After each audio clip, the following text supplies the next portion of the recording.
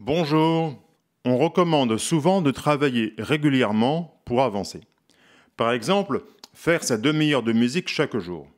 Il est vrai que c'est une bonne manière de faire sur le papier, parce qu'en théorie, tu ne fatigues jamais et parce qu'il n'est pas difficile pour toi de te rappeler ce que tu as fait la veille.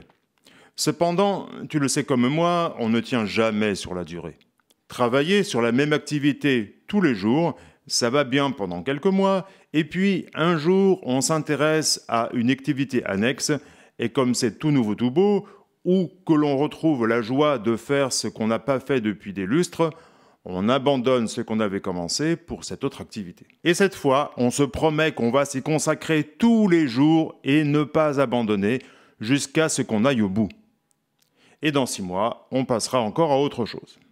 Surtout si tu suis une méthode en ligne ou une méthode papier et que tu n'as aucun contact avec ton prof.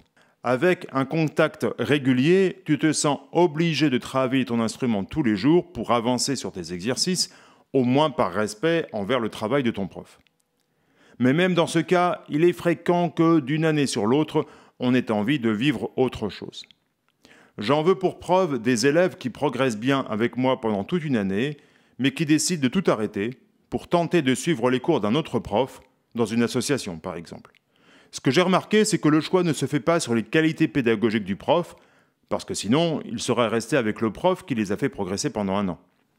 Le choix se fait sur le changement de cadre. Au lieu de suivre ton cours hebdomadaire pépère chez toi, tu vas devoir te déplacer au siège de l'association et tu vas participer à un cours collectif. Le cours sera peut-être meilleur ou moins bien, mais dans les premiers instants, ça va te faire beaucoup de bien parce que tu vas évoluer dans un cadre différent. C'est pourquoi je crois aujourd'hui qu'il est sain de changer de cadre régulièrement. Bienvenue sur le podcast d'Armo Chopin.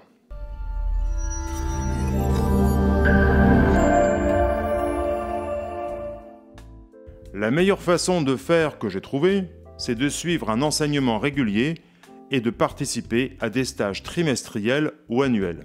C'est ce que j'ai fait avec Greg Zlap quand j'ai appris à jouer de l'harmonica. Je suivais ses cours collectifs 1h30 par semaine et chaque année, je participais à un stage sur une semaine complète. Je n'ai pas encore de formule sur une semaine, mais une qui fonctionne bien sur deux jours, que j'appelle une VIM, vacancelle d'immersion musicale.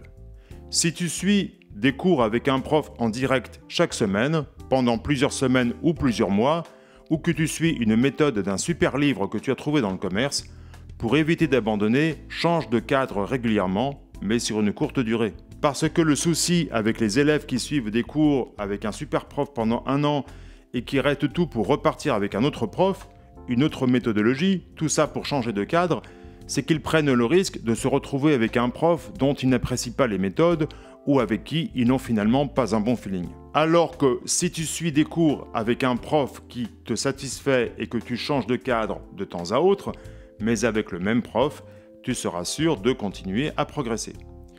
Le secret pour continuer sans jamais se lasser, c'est de changer de cadre de temps en temps. A très vite et d'ici là, bonne musique